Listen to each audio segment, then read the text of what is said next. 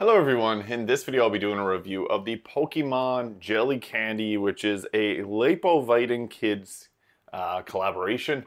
I found this at a candy store and I had to give it a shot. There's a bunch of different ones, but I got the one with Eevee on it.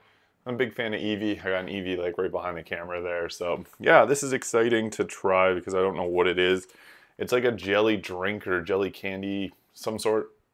But there's 99 calories per package with 27 sugar, zero protein and 12 fat. I don't think those macros are adding up properly. It should have way more than 99 calories if there's 12 grams of fat and 27 carbs, but that's what the label says on it there, so whatever. I want to get into it though. It has this interesting little thing here that you just snap off. And I guess it's resealable, but yeah, let's see how this is. Peach flavor. Oh, it's a very green color.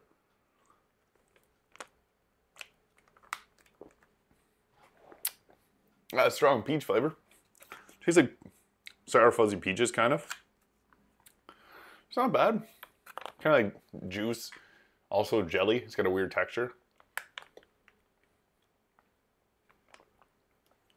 More jelly that time. Hmm. There's a little Pikachu in the back there. I just didn't, didn't realize that at first, but yeah, it's got a nice jelly, kind of like almost a bubble tea, uh, pearls kind of feeling.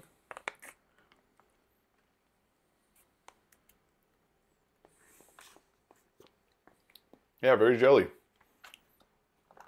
Interesting. So yeah, that is that's not bad. Um, sugary Jello kind of like drink.